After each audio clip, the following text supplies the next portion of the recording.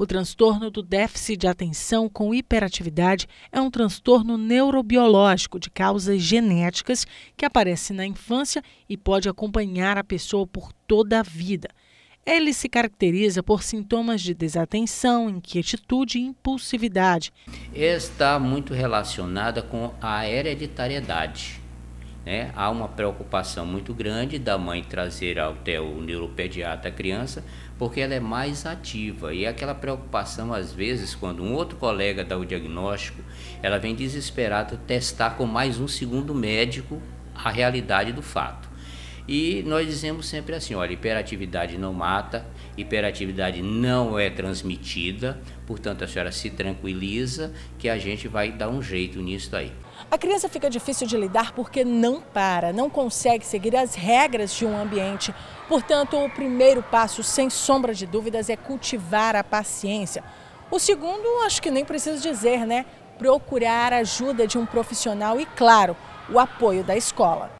A escola tem um papel fundamental no controle do DDA, até porque desatenção, hiperatividade e impulsividade atrapalham e muito o desempenho do menor na escola.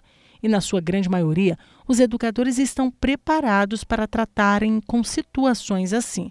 Uma criança hiperativa que não recebe atenção especial pode se tornar um adulto problemático. A gente chama de comorbidades, ela pode associar ao, à hiperatividade outros problemas de comportamento. E aí nós temos transtorno de conduta, transtorno opositor desafiante.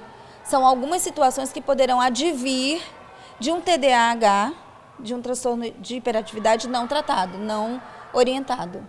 Mas calma, papai e mamãe, a hiperatividade tem tratamento, viu? Mas como ela pode ter diversas causas, o diagnóstico só pode ser estabelecido pelo médico.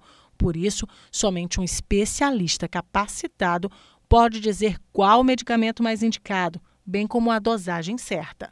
É, a começar que normalmente a criança hiperativa ela se machuca muito mais do que a criança comum.